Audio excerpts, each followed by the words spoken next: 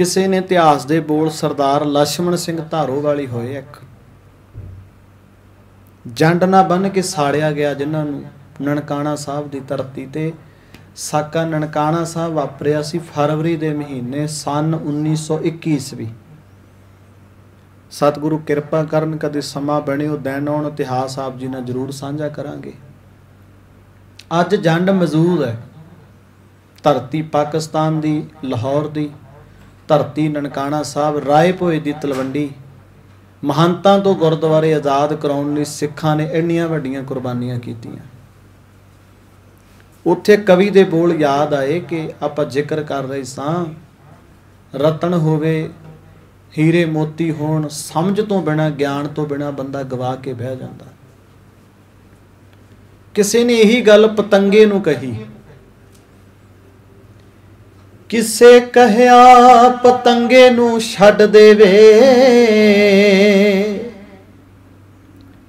ਰਸਮ ਸ਼ਮਾ ਉਤੇ ਸੜ ਜਾਣ ਵਾਲੀ, ਜਿਹਨੂੰ ਗਲ ਲਾਵੇ ਉਹਨੂੰ ਮਾਰ ਸੁੱਟੇ।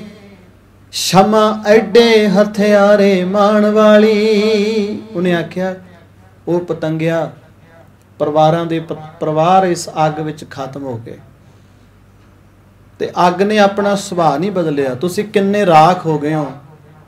ਇਹ ਤੌਰ ਤਰੀਕਾ ਆਪਣੀ ਜ਼ਿੰਦਗੀ ਚ ਤਿਆਗ ਕਿਉਂ ਨਹੀਂ ਦਿੰਦੇ? ਛੱਡ ਕਿਉਂ ਨਹੀਂ ਦਿੰਦੇ? ਕਿੰਨੇ ਭੁੰਨੇ ਗਏ ਹੋ ਅੱਗ ਦੇ ਉੱਤੇ? ਇਹ ਪਤੰਗਾ ਜਵਾਬ ਦਿੰਦਾ ਸਾਨੂੰ ਸੁੱਤਿਆਂ ਨੂੰ ਮੱਤੀ ਦੇਵਣਾ ਏ ਜਰਾ ਸੋਚ ਕਾ ਨੀਵਾ ਧਿਆਨ ਪਾ ਕੇ।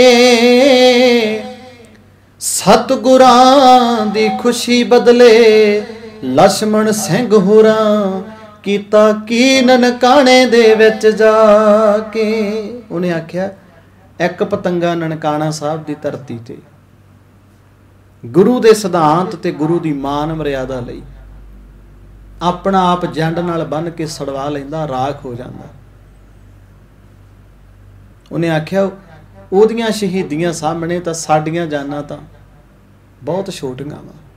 ਇੱਥੇ ਬੜੇ ਪਤੰਗੇ ਹੋਏ ਸਿੱਖ ਇਤਿਹਾਸ ਵਿੱਚ, ਜਿਹੜੇ ਸਿਧਾਂਤਾਂ ਬਦਲੇ ਸਿੱਖ ਵਿਰਸੇ ਨੂੰ ਅੱਗੇ ਰੱਖ ਕੇ ਆਪਣੀਆਂ ਜਾਨਾਂ ਮਨੁੱਖਤਾ ਲਈ, ਸੰਸਾਰ ਲਈ ਕੁਰਬਾਨ ਕਰ ਗਏ।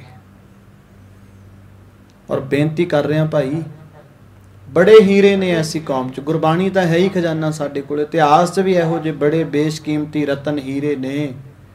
ਬਿਨਾ ਗਿਆਨ ਤੇ ਬਿਨਾ ਸਮਝ ਤੋਂ ਅਸੀਂ ਗਵਾ ਲੈਨੇ ਕਈ ਵਾਰ। ਗਵਾ ਲੈਨੇ। ਰਤਨ RAM ਘਟ ਹੀ ਕੇ ਭੀਤਰ ਤਾਂ ਕੋ ਗਿਆਨ ਨਾ ਪਾਇਓ। ਜਨ ਨਾਨਕ ਭਗਵੰਤ ਭਜਨ ਬਿਨਾ